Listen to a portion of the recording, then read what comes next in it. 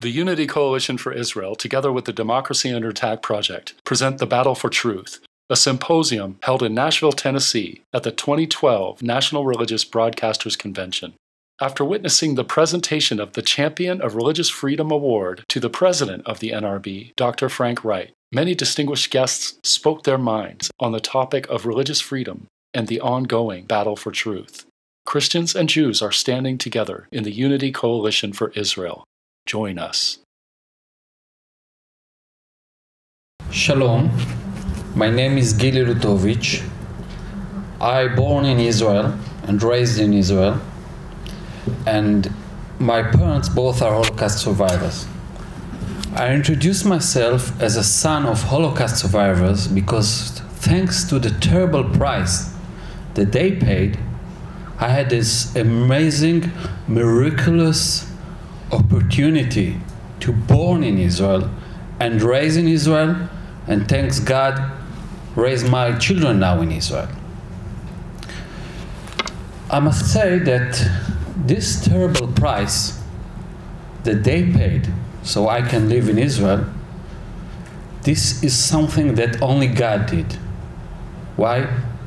Because now, when we live in Israel, in this free country, I'm looking at my parents, I'm looking at my father. When he came from the Holocaust to Israel in 1947, 16 years old, he was looking like 10 years old because he was starving all his childhood. And in 48, when the War of Independence started, he ran to the army to volunteer.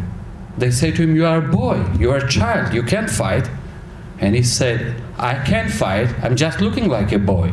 And he lied. He said, I'm 19 years old. Please give me a gun, I want to fight for Israel.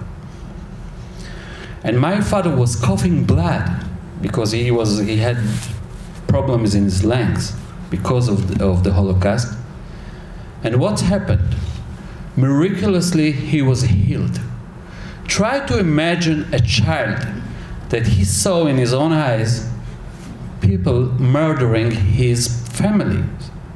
He was supposed to get treatment, he was supposed to get psychology who will help him. He never got it. But my father, thanks God, is a very happy person. He raised his family in Israel. He is completely healed. And I asked my father, How could you do it? And he told me, When Ben Gurion, our first prime minister, visited the refugee camps after the war in Europe, and he saw the Holocaust survivors there, he shook his head and said, We lost our chance, we lost our dream, we will never be able to build a nation. These are not people, these are dust. But look at this miracle. Only God can do it. Only God. He healed these people, and he, my father told me, God told him, I, you don't have time to be miserable. Forget the past. Forget everything. You must be healed because you have a new mission now. You have to build a nation. That's right. And that's what happened. They built a nation. From dust, from the ashes, they built a nation. We are now in a time of threat, that's for sure. But I'm sure, I have all the confidence that my children will not have the same Holocaust as my parents had. They will live in security in Israel. And why? Because we have the Christians brothers that support us and help us and bring all the strengths to be sure that Israel will not stand alone again. We have a country. My father and my mother never left Israel for one single day since they came to Israel. They are wealthy people, they can travel everywhere. They said, God gave us this miraculous gift. After 2,000 years of exile, we are in Israel, we will not leave her. This is a gift that we must hold and grab in our hands. And that's what we are doing. I must say that I took my father two years ago to see the Feast of Tabernacles, celebrated by the Christian embassy in Jerusalem.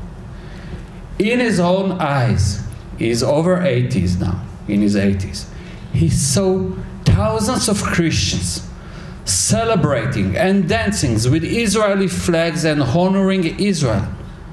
And my father, his paradigm about Christian was that they murdered his family and went to church on Sunday. Suddenly he saw all these Christians dancing with the Israeli flags and honored Israel. And he said to me, he asked me, Are you sure those are Christians?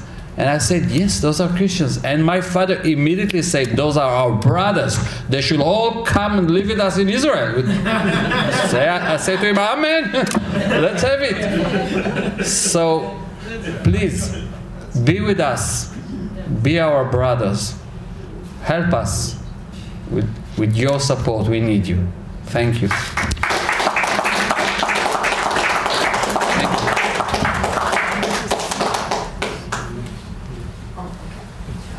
Um, I, I, had some thoughts prepared, but I'm really I'm just going to thank my brother over here for his testimony. I didn't get your name, sorry, Gil.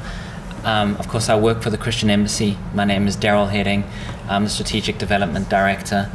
Um, and your words meant a lot for me, knowing how impacted your father was at, at the feast.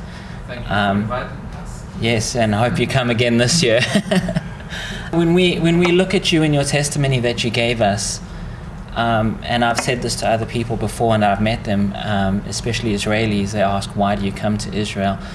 And for many of us, I think we have to admit that looking at Israel and what God is doing and has done through them reminds us that our God is real, that He exists. If you do, you don't need better proof in the world of God's existence than to look at Israel.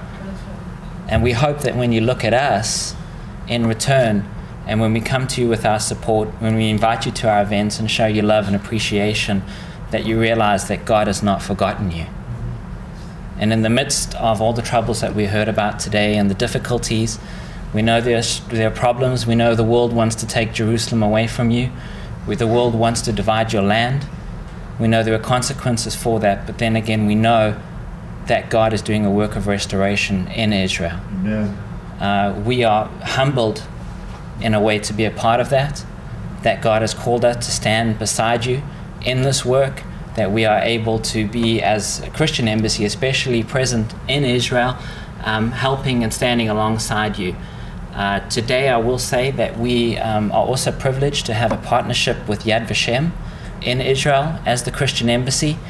Um, and as part of that, of course, is to fight anti Semitism and anti Zionism as well around the world um, recognizing the atrocities of the Holocaust. In fact, today, our executive director, um, only appointed last year, um, is in fact a German whose father served with the Nazis, um, who today loves Israel and is one of the biggest supporters of Israel and a very outspoken supporter in that regard. And when we look at the situation and what's happening today, we are horrified and we speak out on your behalf. We do not want to see Jerusalem turned into another Berlin and divided. Uh, we do not want to support a two state solution that would see an area set up in the historical homeland of Israel that's Judenrein, a Jew free zone as the Nazis hoped for. We cannot support such a thing.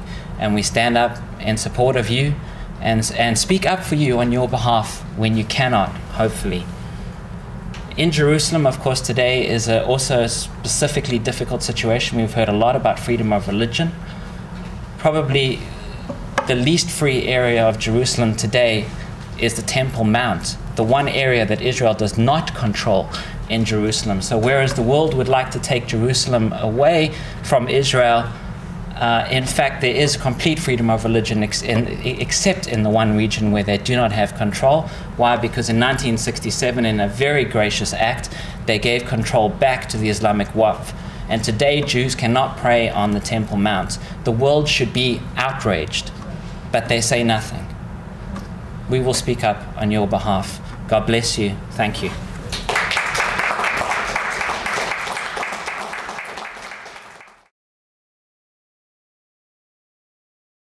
I want to talk about something that's very exciting that Esther has put together. It's called Sign the De- Declaration Today. It is the solution to the Israeli problem. So I'm going to give these to you as you go out. I'd like you to look at them very carefully. And then, what I'd like you to do, if you don't mind, if you'd like to include them in anything that your organization would like to do, we'd like to have you as partners with Esther. So um, they're here, and I'll give them to you as you, as you go out. Since 1991, the Unity Coalition for Israel, UCI, has educated and motivated millions of people around the world to action in support of Israel.